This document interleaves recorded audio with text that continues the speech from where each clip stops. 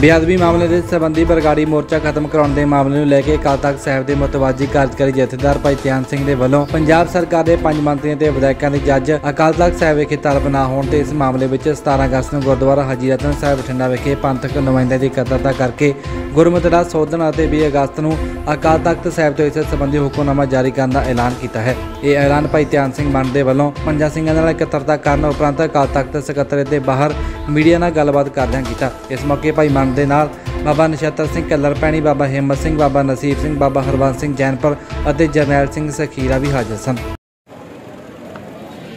Shakira ਜੀ ਸਾਡੀ ਬੇਨਤੀ ਆ ਤੁਸੀਂ ਸਿਰਫ ਜੀ ਕਰੀਏ। ਇਹਨਾਂ ਹੀ ਥੱਲੇ ਕਰ ਕਰਕੇ। ਗੁਰੂ ਪਿਆਰੀ ਸਾਧ ਸੰਗਤ ਜੀ ਵਾਹਿਗੁਰੂ ਜੀ ਕਾ ਖਾਲਸਾ। ਵਾਹਿਗੁਰੂ ਜੀ ਕੀ ਫਤਿਹ।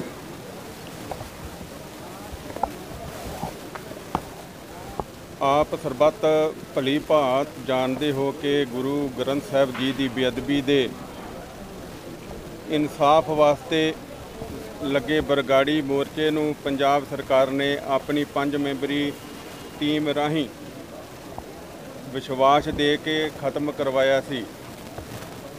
ਇਸ ਸਬੰਧ ਵਿੱਚ ਦੋ ਮੰਤਰੀ ਅਤੇ ਤਿੰਨ ਐਮਐਲਏ ਸਰਕਾਰ ਦੇ ਏਲਚੀ ਬਣ ਕੇ ਗੁਰੂ ਪੰਥ ਕੋਲ ਫਰਿਆਦ ਲੈ ਕੇ ਆਏ ਸਨ, ਪਰੰਤੂ ਸਰਕਾਰ ਕਿਸੇ ਵੀ ਗੱਲ ਉੱਤੇ ਪੂਰੀ ਨਹੀਂ ਉਤਰੀ ਜਿਸ ਕਰਕੇ ਵਿਸ਼ਾਘਾਤ ਹੋਣ ਨਾਲ ਪੰਥ ਨੂੰ ਬਹੁਤ ਵੱਡਾ ਨੁਕਸਾਨ ਹੋਇਆ ਹੈ। ਦਾਸ ਨੇ ਸਰਬੱਤ ਖਾਲਸਾ ਵੱਲੋਂ ਬਖਸ਼ਿਸ਼ ਸੇਵਾ ਨੂੰ ਧਿਆਨ ਵਿੱਚ ਰੱਖਦਿਆਂ ਪੰਥਕ ਸਿਧਾਂਤਾਂ ਅਤੇ ਪੰਜ ਪ੍ਰਧਾਨੀ ਮਰਜ਼ਾਦਾ ਅਨੁਸਾਰ ਉਕਤ ਪੰਜ ਸਰਕਾਰੀ ਦੂਤਾਂ ਕੋਲੋਂ ਇਸ ਦਾ ਸਪਸ਼ਟੀਕਰਨ ਲੈਣ ਵਾਸਤੇ 2 ਅਗਸਤ ਨੂੰ ਅਕਾਲ ਤਖਤ ਸਾਹਿਬ ਉੱਤੇ ਤਲਬ ਕੀਤਾ ਸੀ। ਪਰੰਤੂ ਇਹਨਾਂ ਵੱਲੋਂ ਇੱਕ ਸ਼ਰਾਰਤਪੂਰਨ ਪੱਤਰ ਲਿਖ ਕੇ ਅਕਾਲ ਤਖਤ ਸਾਹਿਬ ਅਤੇ ਸਿੱਖ ਪੰਥ ਦੇ ਅੱਖੀ ਘਟਾ ਪਾਉਣ ਦਾ ਗੁਨਾਹ ਵੀ ਕੀਤਾ ਗਿਆ ਹੈ। ਅੱਜ 11 ਅਗਸਤ ਨੂੰ ਇੱਕ ਹੋਰ ਮੌਕਾ ਦਿੱਤਾ ਗਿਆ ਸੀ, ਪਰ ਇਹਨਾਂ ਨੇ ਇਹਨਾਂ ਨੇ ਆਉਣਾ ਵਾਜਬ ਨਹੀਂ ਸਮਝਿਆ। ਇਸ ਕਰਕੇ ਦਾਸ ਮਹਿਸੂਸ ਕਰਦਾ ਹੈ ਕਿ ਕਾਂਗਰਸ ਪਾਰਟੀ ਨੇ ਕਦੇ ਵੀ ਸਿੱਖਾਂ ਨਾਲ ਵਫਾ ਨਹੀਂ ਕਮਾਇਆ। ਹਮੇਸ਼ਾ ਧੋਖੇ ਹੀ ਦਿੱਤੇ ਹਨ।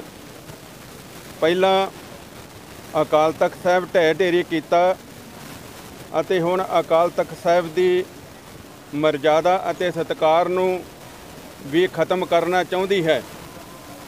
ਇਸ ਲਈ ਦਾਸ ਅਕਾਲ ਤਖਤ ਸਾਹਿਬ ਦੇ ਕਾਰਜਕਾਰੀ ਜਥੇਦਾਰ ਵਜੋਂ ਸੇਵਾ ਨਿਭਾਉਂਦਿਆਂ ਕਾਂਗਰਸ ਸਰਕਾਰ ਤੇ ਉਸ ਦੇ ਇਹਨਾਂ ਦੂਤਾਂ ਦੀ ਇਸ ਕਾਰਵਾਈ ਉੱਤੇ 17 ਅਗਸਤ ਨੂੰ ਗੁਰਦੁਆਰਾ ਹਾਜੀ ਰਤਨ ਬਠਿੰਡਾ ਵਿਖੇ 94 ਪੰਥਕ ਨੁਮਾਇੰਦਿਆਂ ਦੀ ਮੀਟਿੰਗ ਸੱਦ ਕੇ ਗੁਰਮਤਾ ਸੋਧਿਆ ਜਾਵੇਗਾ ਅਤੇ 20 ਅਗਸਤ ਨੂੰ ਹੁਕਮਨਾਮਾ ਜਾਰੀ ਕੀਤਾ ਜਾਵੇਗਾ।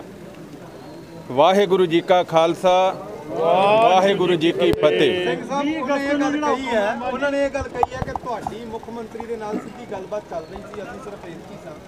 ਇਹਦੇ ਬਾਰੇ ਤੁਸੀਂ ਕੀ ਕਹਿਣਾ ਚਾਹੁੰਦੇ ਹੋ ਸਮਾਂ ਆਉਂਦੇ ਹੋ ਇਹ ਸਾਰੇ ਸਵਾਲਾਂ ਦਾ ਜਵਾਬ ਸੰਗਤਾਂ ਦੀ ਕਚਹਿਰੀ ਦੇ ਵਿੱਚ ਉਹਨਾਂ ਨੂੰ ਖੁਦ ਦੇਣਾ ਪਊਗਾ। ਕਿਹਦੀ ਕਿਹਦੇ ਨਾਲ ਗੱਲ ਹੋਈ ਹੈ? ਮੈਂ ਮੋਰਚਾ ਚਲਾ ਰਿਹਾ ਸੀ। ਮੈਂ ਕਿਸੇ ਨਾਲ ਵੀ ਗੱਲ ਕਰ ਸਕਦਾ ਸੀ। ਪਰ ਜੋ ਫੈਸਲਾ ਹੋਇਆ, ਉਹ ਫੈਸਲਾ ਕਿੰਨੇ ਕੀਤਾ? ਉਹ ਸਮਾਂ ਆਉਣ ਤੇ ਤੁਹਾਨੂੰ ਸਾਰਾ ਪਤਾ ਲੱਗ ਜਾਊਗਾ। ਤੁਹਾਡੀ ਗੱਲਬਾਤ ਚੱਲ ਰਹੀ ਸੀ ਜੀ ਮੁੱਖ ਮੰਤਰੀ ਨਾਲ ਕਿ ਬਿਲਕੁਲ, ਮੈਨੂੰ ਮੁੱਖ ਮੰਤਰੀ ਨੇ ਕੈਪਟਨ ਅਮਰਿੰਦਰ ਸਿੰਘ ਨੇ ਇਹ ਵਿਸ਼ਵਾਸ ਦਿਵਾਇਆ ਸੀ ਕਿ ਜਿਹੜੀ ਸਾਡੀ ਪੰਜ ਮੈਂਬਰੀ ਟੀਮ ਆ ਰਹੀ ਹੈ ਅਸੀਂ ਸਾਰੇ ਦਾ ਸਾਰਾ ਮਸਲਾ ਹੱਲ ਕਰਨਾ ਹੈ। ਤੁਸੀਂ ਸਾਡੇ ਤੇ ਵਿਸ਼ਵਾਸ ਕਰੋ ਤੇ ਅਸੀਂ ਵਿਸ਼ਵਾਸ ਕੀਤਾ। ਤੇ ਕੈਪਟਨ ਵੀ ਦੋਸ਼ੀ ਹੈ ਜੀ ਇਹਦੇ ਮੁਤਾਬਕ? ਫਮਾਉਣ ਤੇ ਸਾਰਾ ਕੁਝ ਹੈ ਸਾਰਾ ਕੁਝ ਹੀ ਦੋਸ਼ੀ ਹੈ ਪਰ ਅਸੀਂ ਬੜੇ ਤਰੀਕੇ ਦੇ ਨਾਲ ਅਸੀਂ ਉਹ ਜਿਹੜੀ ਮਰਜ਼ਾਦਾ ਸ੍ਰੀ ਅਕਾਲ ਤਖਤ ਸਾਹਿਬ ਦੀ ਉਸ ਦੇ ਮੁਤਾਬਕ ਅਸੀਂ ਸਟੈਪ ਬਾਈ ਸਟੈਪ ਸਾਰਾ ਕੁਝ ਕਰਾਂਗੇ, ਕਿਉਂਕਿ ਗੁਰੂ ਸਾਹਿਬ ਦੀ ਹਾਜ਼ਰੀ ਵਿੱਚ ਸੰਗਤ ਦੇ ਨਾਲ ਬਹੁਤ ਵੱਡਾ ਵਿਸ਼ਾਘਾਤ ਜਿਹੜਾ ਉਹ ਹੋਇਆ ਇਹ ਧਾਰਮਿਕ ਮਸਲਾ ਹੈ, ਇਹ ਗੁਰੂ ਗ੍ਰੰਥ ਸਾਹਿਬ ਦੀ ਹੋਈ ਬੇਅਦਬੀ ਦਾ ਮਸਲਾ ਹੈ, ਇਹ ਸ਼ਹੀਦ ਹੋਏ ਸਿੰਘਾਂ ਦਾ ਮਸਲਾ ਇਸ ਕਰਕੇ ਕੋਈ ਵੀ ਬਚ ਨਹੀਂ ਸਕਦਾ। ਹਰ ਇੱਕ ਨੂੰ ਸੰਗਤ ਦੀ ਕਚਹਿਰੀ ਦੇ ਵਿੱਚ ਜਵਾਬ ਦੇਣਾ ਪਊਗਾ।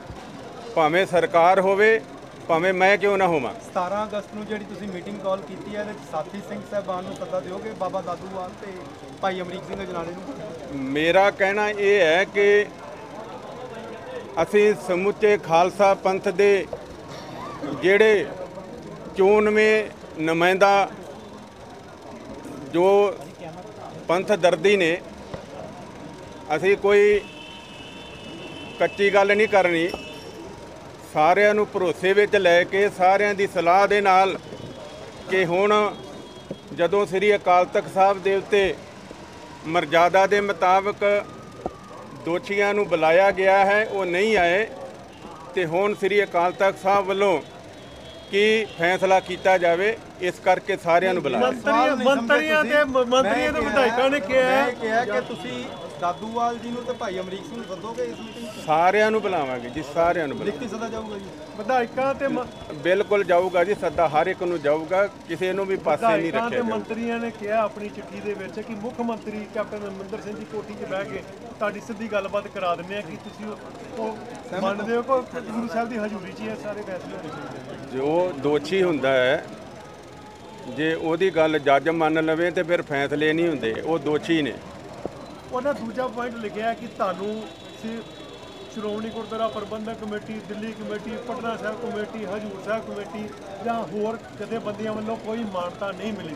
ਇਸ ਲਈ ਇੱਥੇ ਜੇ ਸ੍ਰੀ ਅਕਾਲ ਤਖਤ ਸਾਹਿਬ ਤੇ ਮੀਟਿੰਗ ਦੇ ਵਿੱਚ ਆਪਾਂ ਹਾਜ਼ਰ ਹੁੰਦੇ ਆ ਹਾਂ ਮੈਨੂੰ ਕਿਸੇ ਤੋਂ ਸਰਟੀਫਿਕੇਟ ਲੈਣ ਦੀ ਲੋੜ ਨਹੀਂ ਕਿਉਂਕਿ ਸਰਬੱਤ ਖਾਲਸੇ ਦੀ ਮਰਜ਼ਾਦਾ ਜਿਹੜੀ ਹੈ ਇਹ ਸਰਵਉੱਚ ਹੈ। ਅਗਰ ਇਸ ਤਰ੍ਹਾਂ ਦੀ ਗੱਲ ਸੀ ਤੇ ਬਰਗਾੜੀ ਵੀ ਜਥੇਦਾਰ ਕੋਲ ਹੀ ਗਏ ਸੀ ਸੋਚ ਸਮਝ ਕੇ ਜਾਣਾ ਚਾਹੀਦਾ। ਜਸਟਿਸ ਜੋਰਾ ਸਿੰਘ ਨੇ ਕਿਹਾ ਜੀ ਵੀ ਆਮ ਆਦਮੀ ਪਾਰਟੀ ਜਿਹੜੀ ਹੈ ਉਹ ਜਿਹੜੀ ਹੈ ਇਹਨੂੰ ਮੈਂ ਕਿਸੇ ਪਾਰਟੀ ਦੀ ਗੱਲ ਨਹੀਂ ਕਰਨਾ ਹੈ ਜੀ ਮੈਂ ਮੈਂ ਆਵਾਜ਼ੀ ਕੌਮ ਟੀਵੀ ਦੇ ਅੰਮ੍ਰਿਤਸਰ ਤੋਂ ਹਿਮਾਂਸ਼ੂ ਸ਼ਰਮਾ ਦੀ ਰਿਪੋਰਟ।